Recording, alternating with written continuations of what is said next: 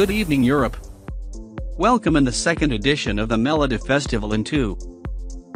We are here again in Norway this time in Lillehammer, after our successful result in the first edition with Ulrik and Falling Apart. Please welcome your hosts for this edition.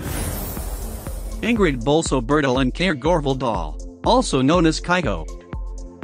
This edition for the first time a pre-qualification round will be held. 30 countries will compete in this round of final with all the participants.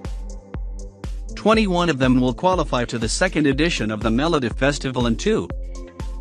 The rest of them though they will not join us. The 11 finalists of the first edition are already participating in the second edition. Some songs are already been announced but we are waiting for all the songs to get released very soon. Cool. Well, Hope to see you soon. Thank Bye, you. Everything's good. Thank you. Bye, Sam.